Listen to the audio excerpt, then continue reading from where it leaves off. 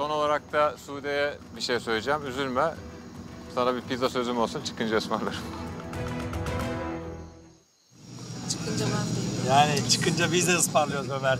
Burada bir şeyler yap. Çıkınca ben alırım kendi pizzamın bakışı geldi Sude'den.